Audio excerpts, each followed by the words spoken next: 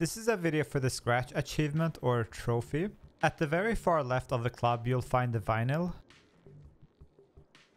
Grab it, take it to the DJ.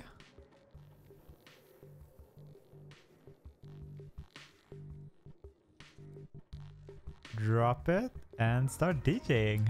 I hope you found this video helpful and I'll see you on the next video. Bye bye.